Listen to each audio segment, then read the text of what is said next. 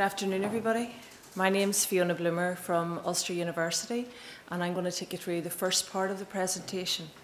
And specifically, we're going to look at how global trends in abortion policy can be explained using the framework of morality policy and what that can tell us about the trends in Northern Ireland and how they're applied in Northern Ireland.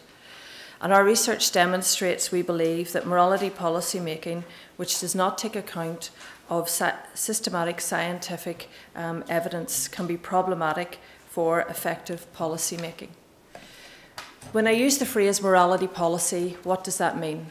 Scholars have um, defined it as those policies which focus on matters such as same sex marriage, euthanasia, reproductive technologies, and abortion, and which typically pit um, religious positions against those which are secular.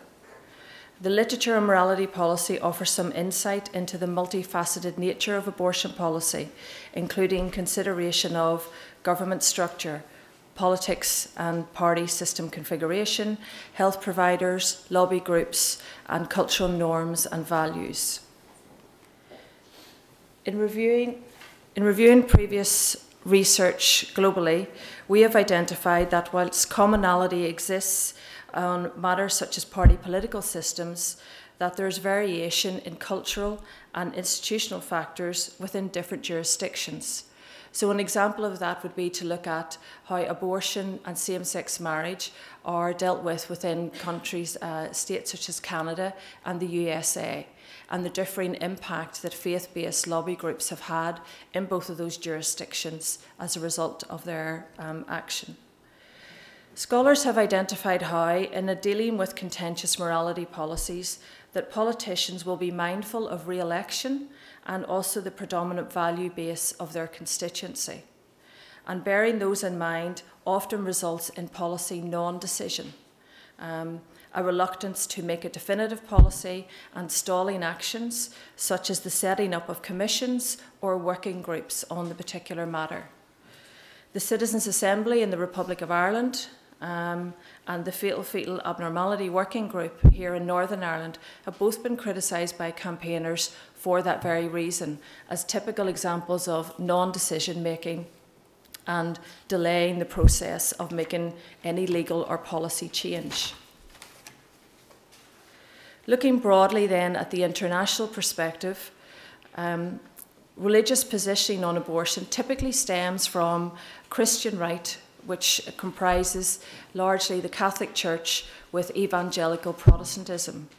Both have played a key role in international debates, forming what Marge Berer referred to as an unholy alliance with unlikely partners such as conservative um, Islamic countries, Iran, and Libya. Historically, it's worth noting that the anti abortion policy of Christian churches has not always been so stringent. For instance, Rose has identified how the Catholic Church had actually a liberal position on early abortion in the 16th century. And if we look at the example of America, the American Protestant evangelical movement actually held liberal views on abortion up until the 1960s, and the Republican Party itself also had liberal positions on abortion up until the 1970s. At the level of the United Nations, Um, morality policy is influenced through the lobbying of faith-based organisations, whose numbers circa around 300. And many of these organisations actually have significant resources, with the three largest alone having a total annual budget of equivalent to 6 billion US dollars. And obviously, that brings significant influence at the level of the UN. Faith based organisations at the UN can be grouped into two broad categories those that are conservative and those that are liberal. The conservative grouping on abortion takes a very firm stance of being anti abortion, but also, as to be expected, are anti LGBT issues, anti having progressive sex relationship education.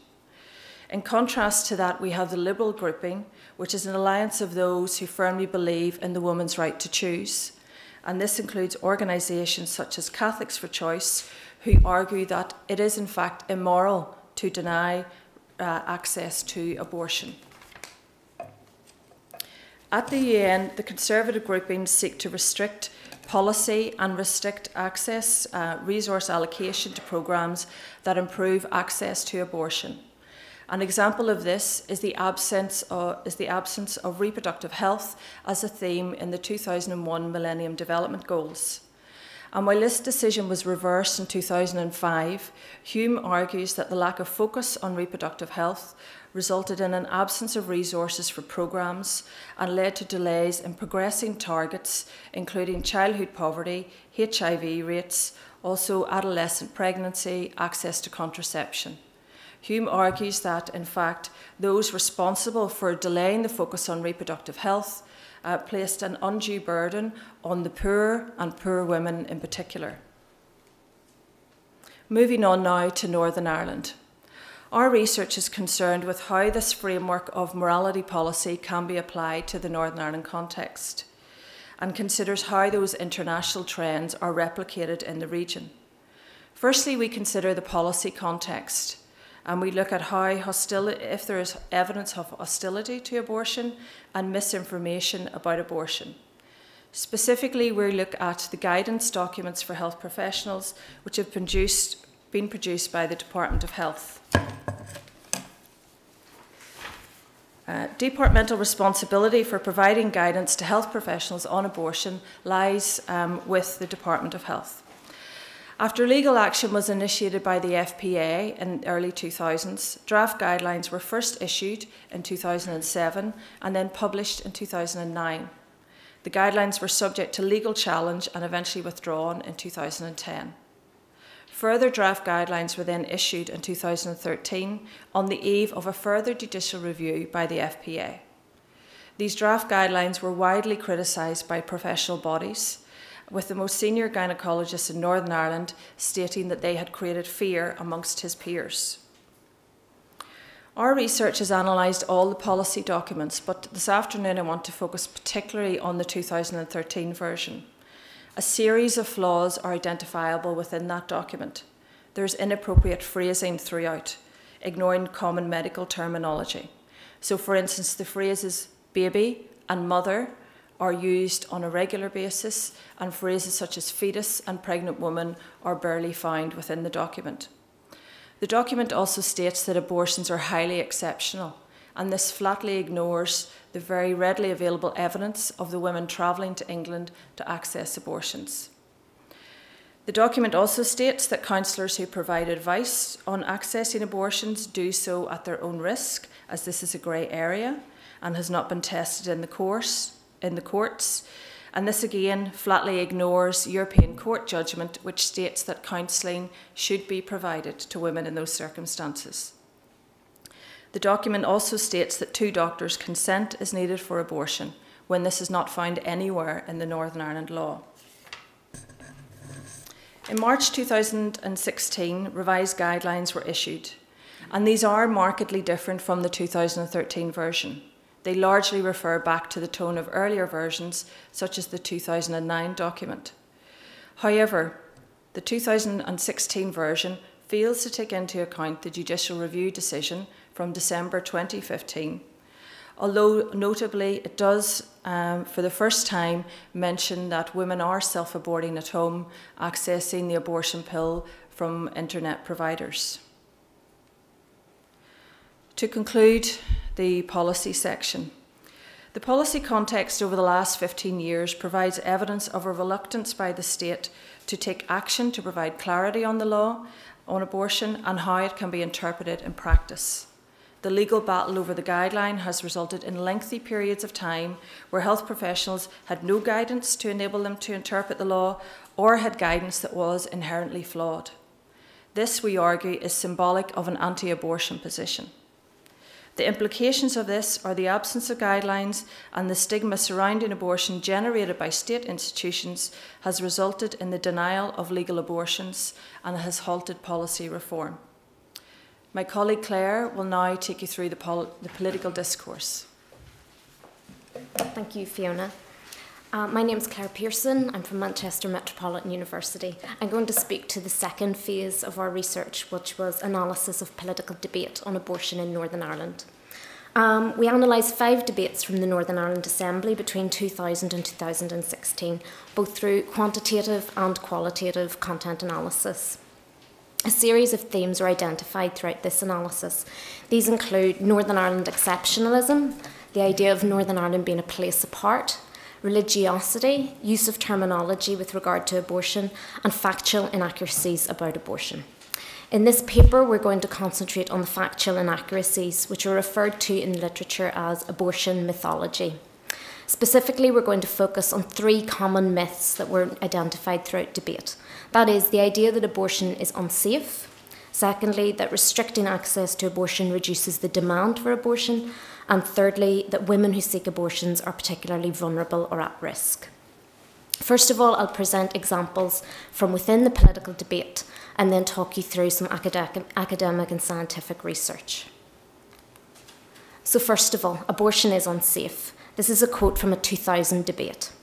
Medical evidence has proven that abortion increases the chance of breast cancer by 50%.